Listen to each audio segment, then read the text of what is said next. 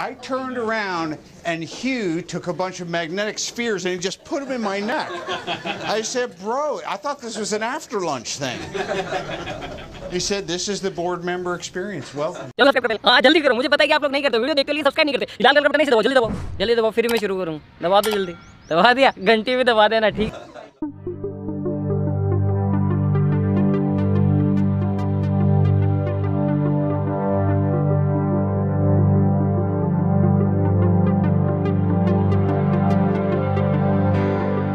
I learned today and all the things that are clicking around in your head, it seems like the possibilities are limitless. It's the future of the human body. It's, uh, it's where humanity's, where we want to take it. The way things are going now, in a hundred years, we won't be able to recognize humanity as, as humanity exists today. Um, and I hope there's an explosion of diversity. And we stop having such narrow views of what intelligence is and what beauty is.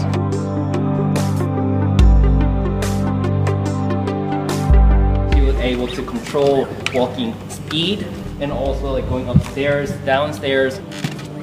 Oh my gosh.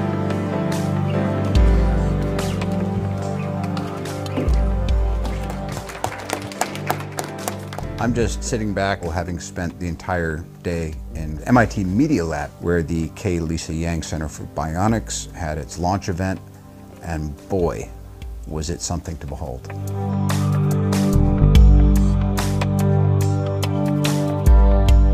Essentially, we're, we're developing fundamental interfaces between the biological body and synthetics to communicate with the nervous system bidirectionally. For a prosthesis, that means you think and you can affect the motors in the prosthesis. With uh, more refined technique and more data collection, I think that we can get it with small joint manipulation, but we can do multiple joints at the same time. You can really only curl the fingers in and out or move the thumb. He, he doesn't have the ability to do all the, the fine motions that we can. So that does make it a little bit more difficult. Kung Fu grip. Wouldn't it be great if you just broke my hand right now? Yeah, I didn't like didn't like that last movie you made. What if we lived in a world where bionic technology were so advanced that every single person in the world could have the choice, the freedom to live without a, a disability, an experienced disability, if they so wish? You and I had never met in person. It really felt good to see him in the flesh. Uh, We did a series called The Age of AI. Introductions were made, and Hugh Herr and I became friends. Eventually, he enlisted me to be part of the executive advisory board, and we've been cranking along ever since. Uh, the deep minds are covered. I saw them all today.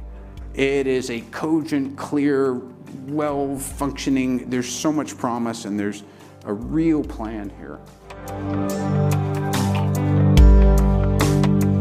I could not pass up this opportunity to leverage and translate Hugh's work, his personal investment in the biomechatronics lab, into a scalable impact on millions of lives. Lisa Yang really offered the strategic infusion of funding that centers like this require to be able to break through those technological glass ceilings. This launch is not going to project you into space, but it will touch a large swath of humanity. Yeah, the preparation really goes back to when I lost my biological legs in that storm. It's uh, all the thoughts and ideas and interactions and communities have coalesced to, to today.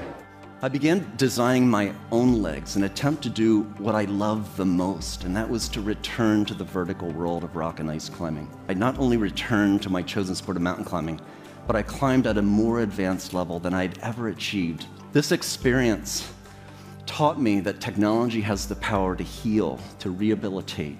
It's fascinating the level of dialogue you can have with someone with such a fantastical background who has met adversity head on and decided to make his success story available for everyone else to share in the benefits of his genius.